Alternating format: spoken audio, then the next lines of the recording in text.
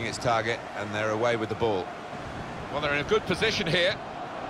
Here, the challenge is a good one. Hadji.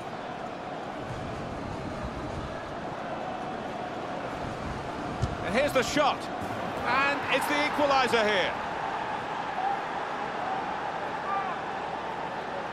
And that is a contender for goal of the season without question. To find the left corner from that distance.